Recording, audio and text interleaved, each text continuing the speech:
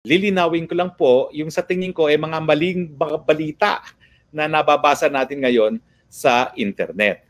Unang-una po sa pagdinig ng Senado kanina tungkol dito sa uh, Pogo sa Porac, wala pong sinabi si Chairman Tenko na ako daw ay naglabi para sa isang illegal na Pogo. Ang sinabi po niya, ako po ay nakipagpulong sa kanya noong July, para po humingi ng rescheduling of payment doon sa mga dapat bayaran ng Lucky Star 99 sa PAGCOR. Ang dahilan ay dahil itong si Miss Cassie Ong na sinamahan ko, nakakilala ko pong empleyado ng Whirlwind Corporation, isang uh, service provider at yung nagpapaupa sa um, Lucky South 99, ay nabiktima ang Lucky South ng estafa.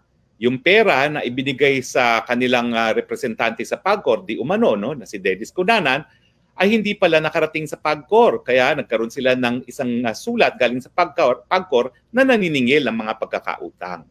So yan po naman ay inamin ni Chairman Tenko at ni Attorney uh, Jeza Fernandez. Wala pong napag-usapan tungkol sa lisensya kasi ang binanggit nga po ni uh, Chairman Tenko doon ay kakalabas lang ng kanilang bagong guidelines para sa internet gaming.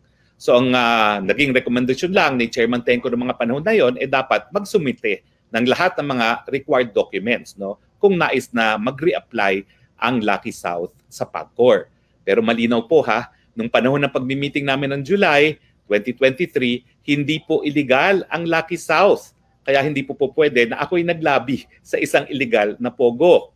Pangalawa, pinabubulaan ko po o pinasisinungalingan ko yung naging konklusyon ni Senator Ontiveros na ako daw ay legal counsel ng Lucky South dahil sa isang organizational chart na isinumiti sa PAGCOR, eh ako'y nakasulat doon bilang isang legal counsel.